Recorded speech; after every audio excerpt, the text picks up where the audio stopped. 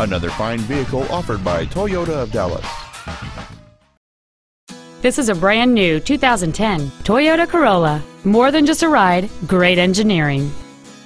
This Toyota's list of numerous features includes a power outlet, a rear window defroster, satellite radio, dual airbags, an anti-lock braking system, and this vehicle has the safety and efficiency of front-wheel drive.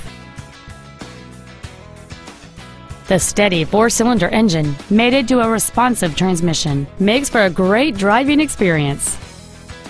This car won't last long at this price. Call and arrange a test drive now.